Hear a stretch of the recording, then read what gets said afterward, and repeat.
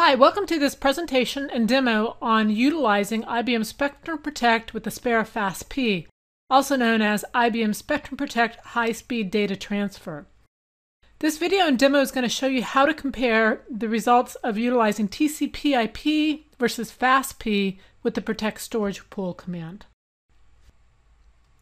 So first of all, why utilize Aspera Fast and Secure Protocol, also known as FASP?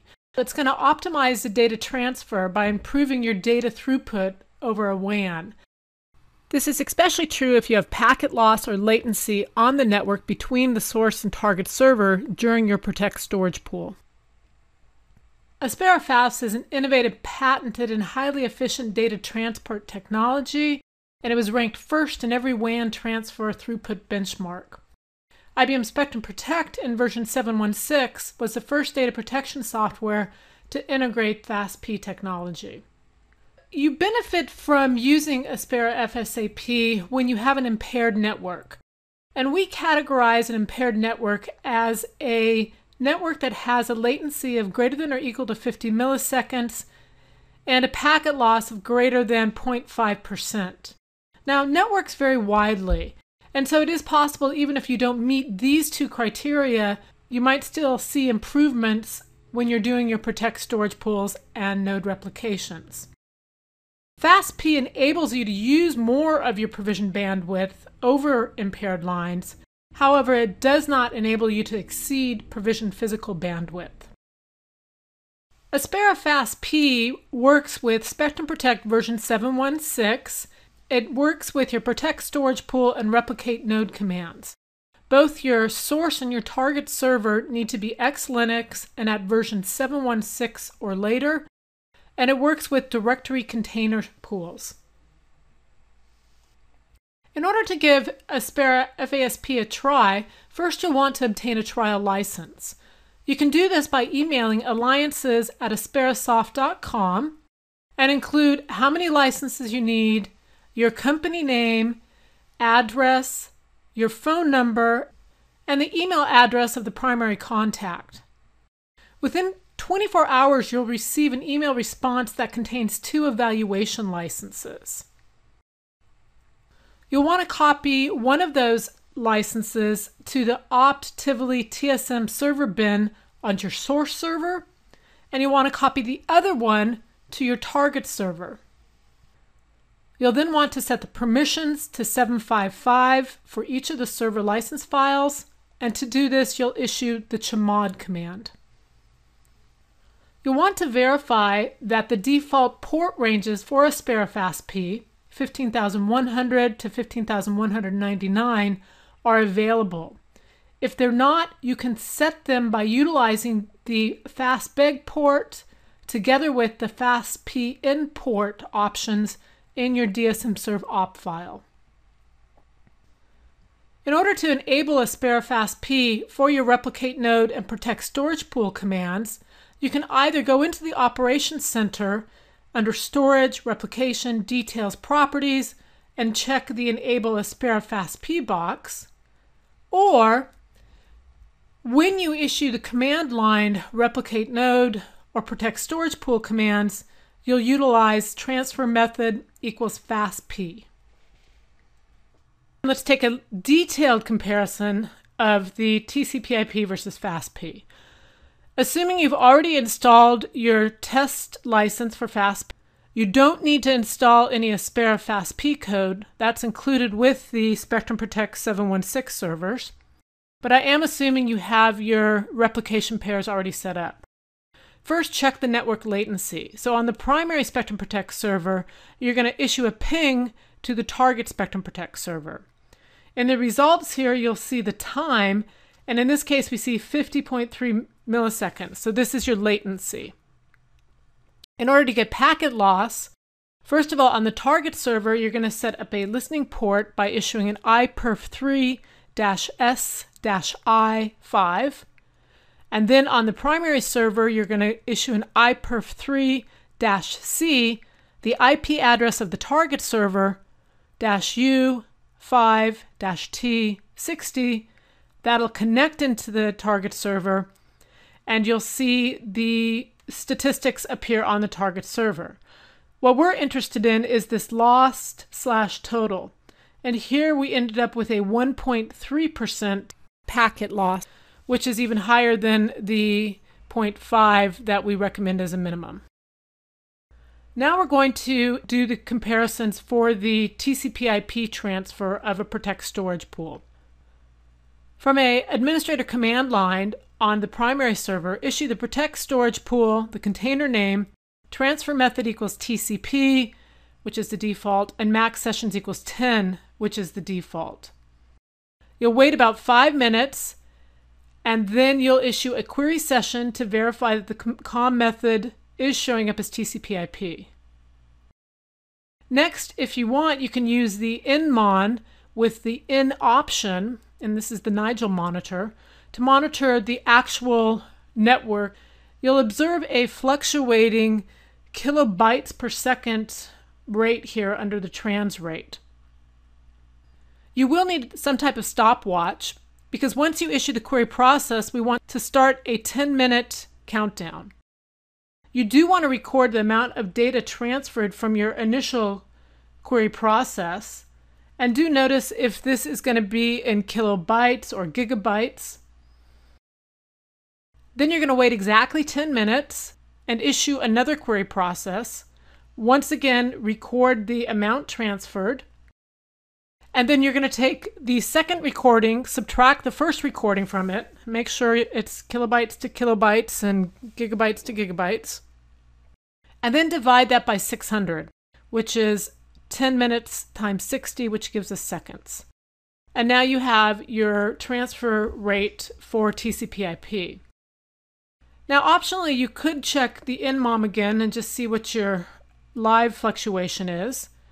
And if you want another way to verify it, you can go ahead and cancel that process, that protect storage pool process, and issue this query actlog search equals ANR 4980I.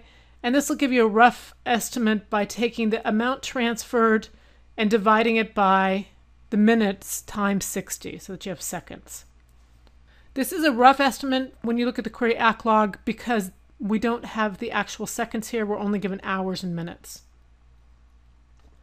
Next, let's go ahead and calculate the FASP data transfer rates.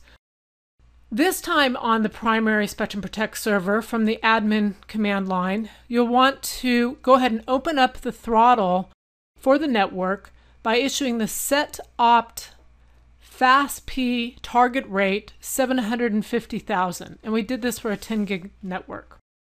Next, you'll issue the protect storage pool container, transfer method equals FASP, max sessions equals 8. You'll want to wait around 5 minutes for all the sessions to start up, and now when you issue the query session, we should see not only TCP IP sessions, but also the FASP sessions that they're paired with. The data is going to be going over the FASP, and just some server communications will go over the TCP IP sessions. Optionally, you can use nmon once again to monitor the kilobytes per second. We're going to get out that stopwatch again, issue a query process, wait exactly 10 minutes, and then issue another query process. Then we're going to take from both of those query processes the amount of data transferred, and once again, pay attention, is it gigabytes or kilobytes? And divide it by the 600, which is 10 minutes times 60, so we get seconds. And so that'll give us a pretty accurate amount of data transferred that we can compare with TCP IP. You can also look at your nmon again and see if it's gone pretty much steady. Once the data gets flowing pretty well, that'll, that'll fluctuate a little bit, but not wildly. We can cancel the process from the protect storage pool and then go ahead and issue the query actlog search equals ANR 4980I. And now we have other numbers where you can calculate the performance for both the TCP IP session and the FASP session. Once again, when you're looking at the query act log numbers, pay attention, is it gigabytes? or is it kilobytes? And make sure you when you divide it out by the number of minutes, you convert those to seconds. And remember, it's a little bit off because the query act logs don't report seconds. So in summary, these are some of the tools that we'll utilize for the testing the performance, the pings, the iperfs, the nmons, the query processes, query sessions, query ACT logs. And in addition, if you've got Operations Center up, you've been running your Protect storage pools for a while, you can actually go get a two-week summary underneath Operations Center Storage Replication Details, and you'll see the speeds for that two-week summary. Some things to consider about the FASP results is first of all, we use the set opt FASP target rate 750,000. And the reason we use this is it opens up the throttle to 750 megabits per second when we're using the higher capacity networks like our 10 gigabit Ethernet. By default, each FASP session is limited to using a maximum of 100 in addition, the Protect storage pool def defaulted to two sessions, and if you'll recall, we tested it with eight sessions. And so we've improved the original aggregate utilization. Node rep defaults to 10 sessions. So that would limit the aggregate utilization if you didn't use the set FASP target option. Use caution when comparing FASP to TCP. And this is because overcoming latency on TCP by increasing the max session count might result in overutilization of the network bandwidth. And this is due to no throttling capability when using TCP. Another thing to note about the results is that we have network rates which talk about the line speeds. And then we have the amount of data that we back up from our original production servers to the Spectrum Protect server, and that's a specific number of gigabytes. And then we dedupe and compress that data. So all we're replicating over to the target server is the deduplicated and compressed portions. And so the amount of data you're seeing sent in this Protect storage pool process actually represents a lot more data if you uncompress it and reconstitute it. Now that you've tested with the trial license, which was valid for 30 days, and you're ready to purchase a full license for each Spectrum Protect server, what you'll do is you'll go into Passport Advantage, and from there you'll be able to purchase the product, which is called IBM Spectrum Protect High Speed Data Transfer, and it has a PID of 5725 Z10. You'll then download the product and you'll want to install it on both your Spectrum Protect source and target servers, and you'll utilize the IBM Installation Manager to do that install. You'll then want to remove your 30-day trial licenses from the opt Tivoli TSM server bin, and then restart both of your Spectrum Protect servers. Let's go ahead and start the demo. In the upper right corner, I have an XLinux source server. In the upper left corner, I have my XLinux target server. Behind here, I have my Spectrum Protect command line and my Spectrum Protect monitor. Let's start by issuing a ping from the source server to the target server. I'll see my latency, which is 50.3 milliseconds. I'll then go over to the target server and set up an iperf 3-s-i5. This will open up a listening port. I'll go back to my source server and issue the iperf 3-c, the target IP-u-i5-t60. And now on the target server, I'll start seeing information coming across about the lost packets. Remember, we recommend at least 0.5% lost packets for Aspera efficiency. In our case, we're getting 1.3%. We're now going to kick off a TCP IP protect storage pool with protect storage pool, next gen pool, transfer equals TCP, max sessions equals 10, which is the default. We can see the process starting. If we issue a query session, I can verify that indeed it is using TCP IP. If I go into nmon, I will start up nmon, and then I will select the in option for network. And now on my source server, I can see the kilobytes per second that are flowing between the source and target server. In this case, we're in the 3,700 kilobytes per second range. You will see these fluctuating. As the processes become more steady in transferring data across, they will level out. Now we're going to take some measurements from the source server. We're first going to issue a query process, but we want to have a stopwatch on hand so we can make sure we're timing it exactly.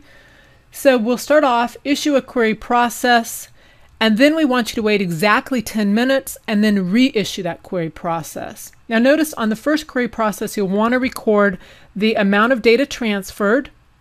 And then after 10 minutes, when you reissue that query process, you'll want to record the second amount. You'll then be able to subtract the second amount from the first amount and divide by 600 seconds. Notice for this quick demo, I did not wait the full 10 minutes. We can now cancel the protect storage pool process and we want to take a look at the activity log to see what a rough estimate would look like. Here we can see that in total we had 2,346 megabytes processed in 14 minutes. If we do the division here, do recall that this is a little bit of a rough estimate because we don't have the actual second count showing up. Versus when we did the query process with the stopwatch, we had a very specific amount of time elapse. Let's go ahead and look at FASP now.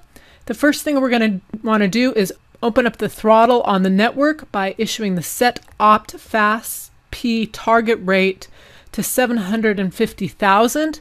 This is a 10 gig network that we're working on here. This will open up the throttle for each session to 750,000 kilobits. We will go ahead and kick off another protect storage pool. And this time when we do the protect storage pool command, we will specify transfer method equals FASP, and we will issue max sessions equals 8. Okay, we got process 3 started. We can see that over in the monitor. We'll soon be seeing both TCP IP and FASP sessions kicking off. The TCP IP sessions are paired with a FASP replication session. Going across the TCP IP will just be the server chatter between the source and target server, and across the FASP we'll be sending the actual data. We're going to issue a query session. Here we have our FASP sessions that are paired with the TCP IP sessions, and you'll see we're already up to 3 gig of bytes transferred in this short period of time on the FASP sessions. If we look at the nmon, we'll see we're anywhere from 680,000 down to 480,000. Right now we get a little bit of fluctuation. We're now going to issue a query process so we can take a look at the initial amount. You will want to have your stopwatch ready so that you can be timing exactly 10 minutes. When the 10 minutes is up, you want to issue another query process. And then we're going to compare the amount of data transferred and divide that by 600, which is 10 minutes to times 60 seconds. This method is more precise than the query act log because we are able to account for actual seconds. For this quick demo, I did not wait 10 minutes, so any calculations I did would not be exact. We'll now go ahead and cancel the Protect Storage Pool process. If we issue the query act log and search on the ANR 4980i message, we'll see both our TCP/IP Protect Storage Pool results and our Protect Storage Pool with FASP. We can then once again use these numbers, the amount transferred and the lapse time, and get a rough estimate. Remember, activity log does not show seconds, so it gives you a rougher estimate versus if you did the query proc with the stopwatch recording the exact time. From our query act log results, you can see FASP had stellar results, and in comparison to TCP/IP, it was racing across the same network. For FASP, we saw about 271 gigabytes transferred in 13 minutes. And for TCP, we just saw 2.346 gigabytes in 14 minutes. So our results show two orders of magnitude improvement with FASP. I hope you'll give this a try, and I'm sure you too will see stellar results when you enable FASP for your Protect storage pools on networks that are impaired. Thank you.